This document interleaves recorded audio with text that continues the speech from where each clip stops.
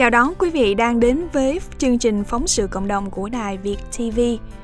Ngày hôm nay chúng tôi xin mời quý vị cùng đến với những hình ảnh mà nhóm phóng viên của chúng tôi ghi nhận trong ngày phát check của Ủy ban cứu trợ nạn nhân bão lụt Harvey được tổ chức tại chùa Liên Hoa ở địa chỉ 6709 Sugarland Howell Road, Houston, Texas 77083 vào ngày 2 tây tháng 12 năm 2017 từ 9 giờ sáng đến 2 giờ chiều. Xin mời quý vị cùng đến với những hình ảnh sau đây. Ban tổ chức đã có mặt rất sớm để chào đón tất cả các quý đồng hương, những ai gặp khó khăn và chưa nhận được những tờ check cứu trợ cho đợt 1 được phát tại chùa Liên Hoa lần trước. Ủy ban cứu trợ nạn nhân bảo lục Harvey cho biết đợt này sẽ là lần phát check cuối cùng cho những đồng hương tại khu vực thành phố Houston. Đối với những nạn nhân đã ghi danh nhưng có địa chỉ cư ngụ tại Rockport, Texas sẽ được phát check tại nhà thờ San Peter tại Rockport vào ngày Chủ nhật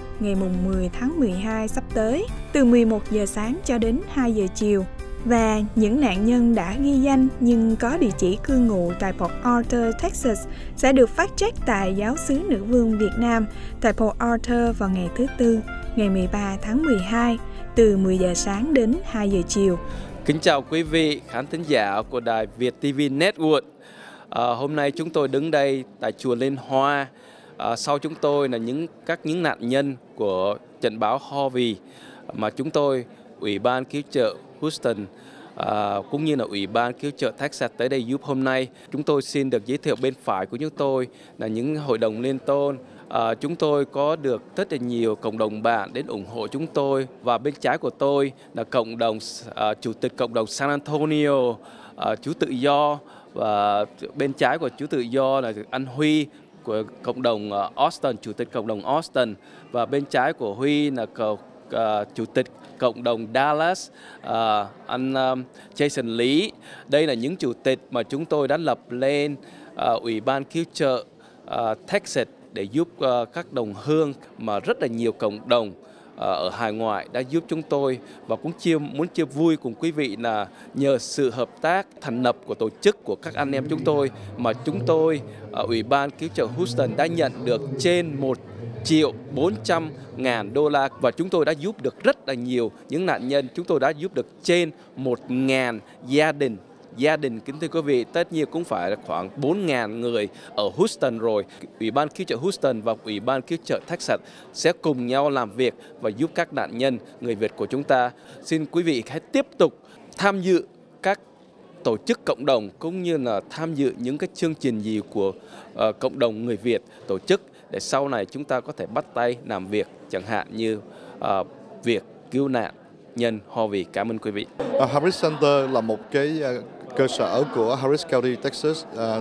chuyên môn tư vấn về tâm thần và giúp đỡ cho những uh, bệnh nhân, nạn nhân bệnh tâm thần hoặc là có những cái biểu hiện uh, uh, sau khi những uh, vấn đề uh, có những cái uh, biến chuyển uh, trọng đại trong cuộc sống. Harvey là một cái ví dụ của những biến chuyển này thì uh, chúng tôi uh, uh, có liên lạc với lại um, FEMA và làm ra một cái có một cái phân và một cái uh, tổ chức gọi là uh, Texan Recovering Together tức là uh, người Texas cùng hồi phục uh, cùng nhau hồi phục. Uh, cái nhiệm vụ của chúng tôi trong này là đi đến tất cả những người uh, tất cả các chủng tộc không như là người Việt Nam không nhưng vậy tại vì tôi là người Việt Nam cho nên tôi giúp người Việt Nam. Uh, mình đến mình giúp tất cả mọi người để xem mọi người cần gì có thể là cần giúp đỡ tiền bạc hay là cần uh, mua furniture hay là cần uh, contract sửa nhà hoặc là ngay cả cần appeal FEMA thì uh, cũng uh, chúng tôi đều, đều có thể giúp đỡ được. Uh, đối với những người có những cái uh, trạng thái tâm thần không có được tốt sau khi uh, uh, trận bão Harvey thì chúng tôi có thể giới thiệu uh, qua trong cái kênh của chúng tôi để mà uh, giúp đỡ về chữa trị tâm thần hoàn toàn miễn phí, uh, không có vấn đề tiền bạc mà cũng không có liên quan gì đến insurance. Yeah. Đó là cái uh, hoạt động của uh, The Harris Center uh, phối hợp với FEMA trong cái uh, campaign là uh, Texans Recovering Together. Tất cả các đồng hương ai cần uh, uh, tới sự giúp đỡ của Harris Center thì có thể gọi đến số 713 970 7007 à, nếu quý vị nói là quý vị cần giúp đỡ trong vấn đề uh, Harvey thì uh, họ sẽ chuyển qua đến chỗ cái uh, department của chúng tôi và chúng tôi sẽ cho người ra giúp đỡ ở trên vùng KT đó, subdivision của tôi là bị nặng, bị thiệt hại nặng nhất thì à, trong thời gian đó, thì ở đây có một tổ chức của chùa Liên Hoa có giúp đỡ một à, số tiền để mà trang trải trong cái giai đoạn đầu của cái biến cố này. Sau khi à, bị lục lội thì dọn dẹp đã xong rồi nhưng mà kiếm ờ, nhà thầu để mà xây cất lại thì giờ ai cũng bị kẹt thành ra trở nên khó khăn hơn. Thật sự thì ờ, sự giúp đỡ của chùa cũng là một biểu tượng rất tinh thần rất tốt cho những người cho những nạn nhân. Tôi cũng được những phần quà đó thành ra tôi nhận thấy rằng một tổ chức của hội thiện nguyện ở đây rất là chu đáo làm việc rất là tốt đẹp. Quỹ ban cứu trợ đã, ờ, của chùa Liên Hoa đã giúp đỡ tôi một Uh, cái check 700 đồng và riêng đặc biệt những người trên 60 tuổi thì được thêm một cái check 200 đồng nữa. Đó là tổng số bữa nay tôi nhận được 900 đô la. Tôi thay mặt à, cá nhân cũng như là người thân để cảm ơn chùa Liên Hoa đã làm một cái việc rất là tốt đẹp cho những người bị ờ, bạo lực như chúng tôi.